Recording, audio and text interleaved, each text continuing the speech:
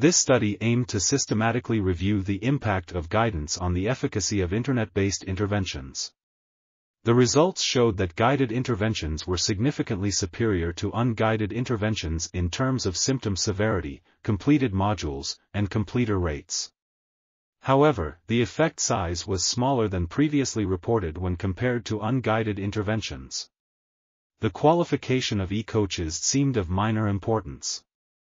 Methodological limitations need to be considered in interpreting these findings. Overall, the number of studies was small and mainly limited to depression and social phobia, restricting the generalizability of the findings. This article was authored by H. Baumeister, L. Reichler, M. Munzinger, and others.